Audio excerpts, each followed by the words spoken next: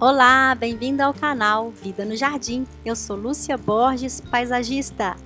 Nesse episódio, com um formato um pouco diferente, você vai me acompanhar na visita à 39ª Exposição Nacional de Orquídeas, que está acontecendo ainda na Serraria Souza Pinto, em Belo Horizonte. Essa serraria fica na Avenida Assis Chateaubriand, 809, centro de BH. Ela está ocorrendo desde o dia 12 de outubro e vai até hoje, dia 14 de outubro. O evento começa às 9 horas da manhã e vai até às 17 horas. Vale a pena conferir quem mora aqui na região. É entrada gratuita. Esse evento está acontecendo com mais de 700 exemplares de plantas de expositores, para nossa admiração e contemplação, e mais de 50 mil mudas de espécies de orquídeas, além de orquídeas outras espécies, sendo vendidas também. Cada arranjo belíssimo que a gente vai vendo, são soluções criativas, Existem plantas comuns, muito comerciáveis, como é o caso dos dendróbios, muito bonitos em diversas tonalidades. Tem flor para todo gosto e para todo bolso, né? Tanto plantas em promoção quanto plantas às vezes um pouco mais cara. Nessa parte aí central da exposição, a gente vai vendo os colecionadores. Cada planta tem sua ficha, sua identificação elas estão sendo expostas para nossa admiração. São plantas belíssimas que a gente vai encontrando com floração exuberante, uma floração maravilhosa, diversas tonalidades, diversas espécies diferentes, às vezes algumas mais comuns, outras às vezes um pouco mais raras e todas muito bonitas.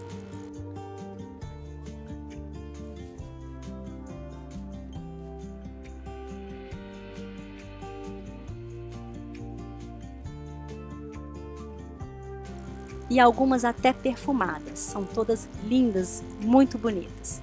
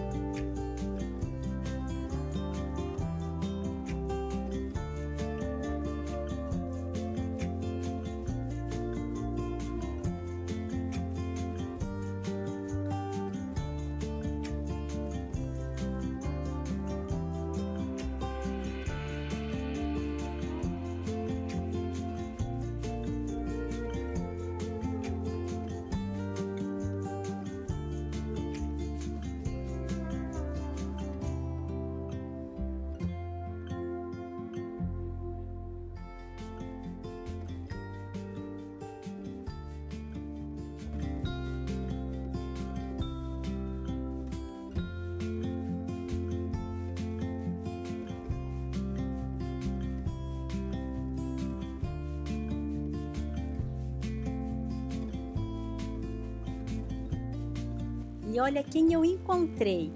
O Samuel do canal Um Botânico no Apartamento. Botânico no Apartamento, Samuel. Ei. Ele que me convidou, eu tô aqui por ele. Fala alguma coisa aí, Samuel. Então, a Associação Mineira de Orquidófilos está fazendo essa linda exposição aqui, né? Na Serraria Souza Pinto. Vem cá, vai até domingo, gente. Fantástico. Manda, manda um abraço, pessoal. Abraço para todo mundo que do Vida no Jardim. No final do seu vídeo? Ah, eu sempre falo que presentear com plantas é a melhor coisa que a gente pode fazer e para fazer todo mundo feliz.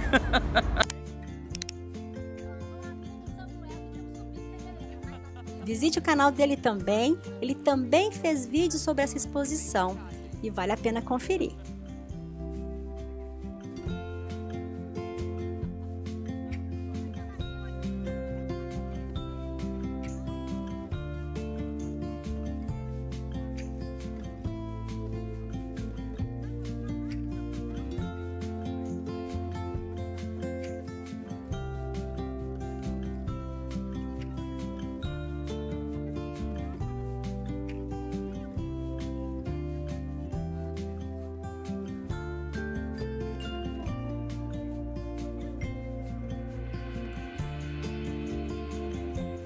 Olha quanta variedade, quanta planta bonita, quanta planta diferente que a gente vai encontrar, cada uma mais bela do que a outra.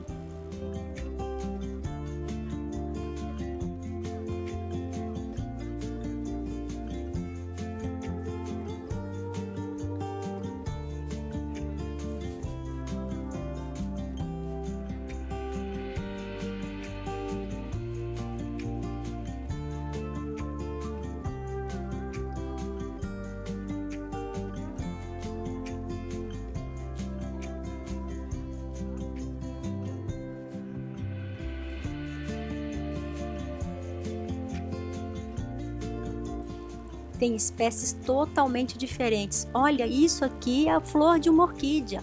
Olha que interessante essa espécie. Olha eu fazendo um make-off do vídeo do Samuel. Valeu, Samuel, um abraço, sucesso em seu canal. Olha lá o Brendo, olha o cameraman do Samuel.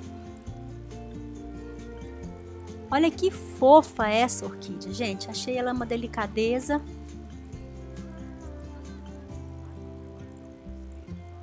É uma vanda muito diferente.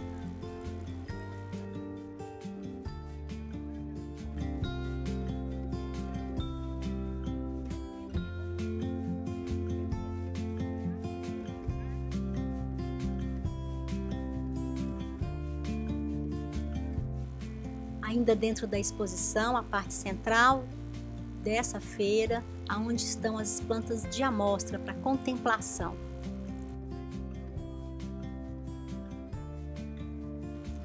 Olha que fantástica essa orquídea nesse tronco, né? Toda tomada, toda enraizada, com musgo envolvido, uma obra de arte.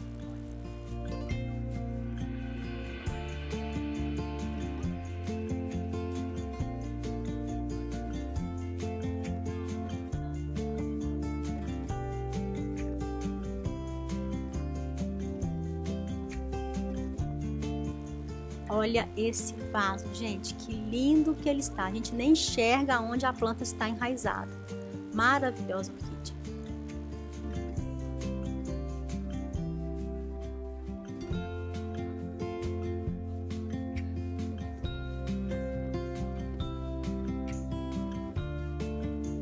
Saindo dessa parte central, a gente vai para os expositores que estão vendendo mudas, né? Essas aqui já estavam separadas por alguém que já comprou, plantas belíssimas. E aí a gente vai encontrando vários estandes com diversas plantas, diversas é, é, espécies que vão sendo né, dispostas para venda. São muito bonitas aí. Então tem todo tipo de orquídea, para todo gosto. Das mais exuberantes, com as flores maiores, como as catleias, as lélias, os vasos, muitos vasos interessantes, vasos cerâmicos, como a gente está vendo.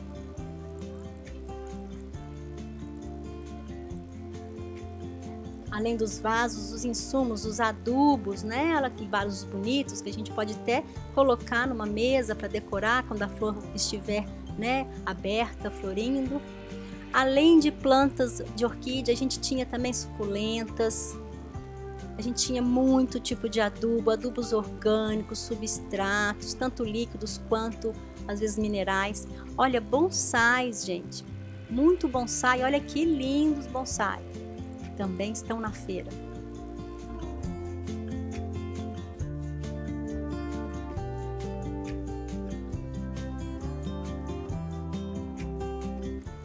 Acho lindo esses vasinhos feitos de retalhos de madeira para colocação das orquídeas. É uma forma muito interessante, pois deixa a raiz da planta solta, aquelas plantas que são mais epífitas, como também é suporte para vasos.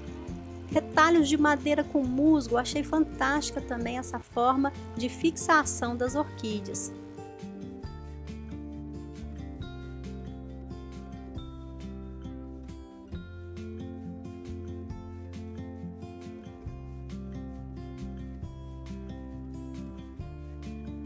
Olha essa variedade, gente. Fiquei encantada.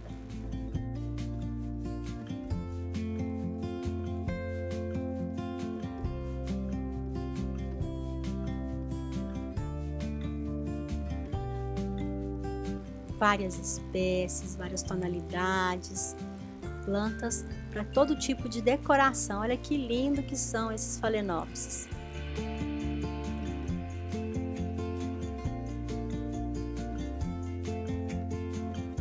Mudas ainda pequenas, com preço mais em conta, saudáveis, também estavam disponíveis. Então a gente comprava a mudinha daquela planta que estava exuberante. Então, para quem não quer a planta florida ou quer, que gosta de acompanhar o desenvolvimento da planta, é uma excelente opção. E essa daqui é a baunilha, né? Aquela orquídea vanilla, que é uma trepadeira e que faz a essência de baunilha. Olha que interessante, gente. Uma linda planta. Tinha muito tipo de substrato, vários tipos, olha, de milho, pepinos, coco e carvão. Aí você podia optar também por outro tipo de substrato, com musgo e carvão, enfim, diversas formas de cultivar para cada tipo de orquídea.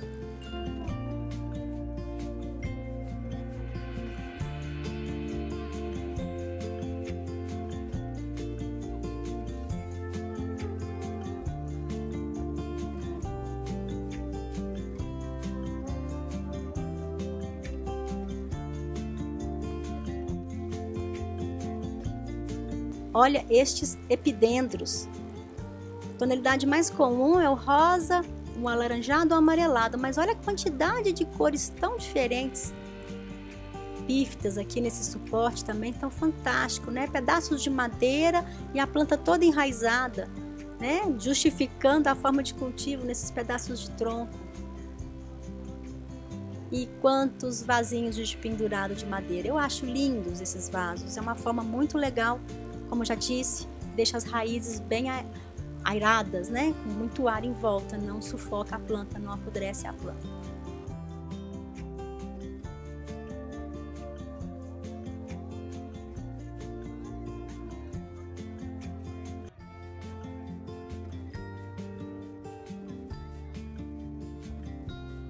E olha a quantidade de suporte que a gente vai encontrando, diversos tamanhos, preços também interessantes, até pedaços de madeira estavam sendo vendidos. E olha que fantástico esses retalhos de coco trabalhados para ser suporte de orquídeas. Eu adorei, muito criativo e muito interessante essa forma de cultivar. E aí, o que você achou de passear por tantas belas flores de orquídea comigo? Caso você saiba de algum evento relacionado com plantas na sua cidade ou região e queira que o canal Vida no Jardim te ajude a divulgar, entre em contato conosco pelo e-mail contato@vidanojardim.com.br. E não deixe de curtir o vídeo, compartilhar com seus amigos, visitar nossas redes sociais e até a próxima!